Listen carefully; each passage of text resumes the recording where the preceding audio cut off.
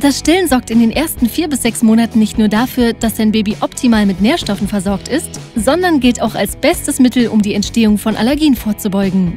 Muttermilch ist allergenarm und enthält bestimmte Stoffe, welche die Darmschleimhaut vor Allergenen schützen. Somit wird durch das Stillen der Aufbau des kindlichen Immunsystems unterstützt. Ernährungswissenschaftler, Mediziner sowie die Deutsche Gesellschaft für Ernährung sind überzeugt, dass das strikte Meiden bestimmter Nahrungsmittel im ersten Lebensjahr nicht hilft, Allergien vorzubeugen. Im Gegenteil, nur wenn dein Baby bis zum vollendeten sechsten Lebensmonat mit Lebensmitteln in Berührung kommt, kann der kleine Körper lernen, eine Toleranz zu entwickeln. Die meisten Eltern kaufen zur Geburt neue Babyzimmermöbel.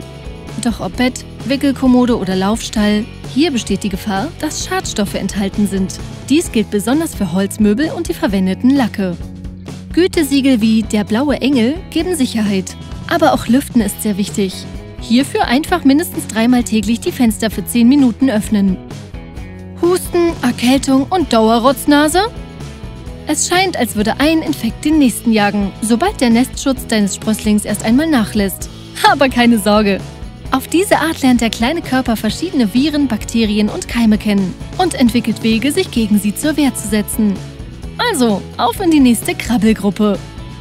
Ja, Babyhaut benötigt intensive Pflege. Pflegeprodukte mit Zusatzstoffen solltest du dabei aber unbedingt meiden.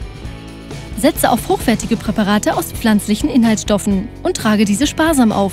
So kannst du das Risiko für allergische Hautreaktionen beim Baby minimieren.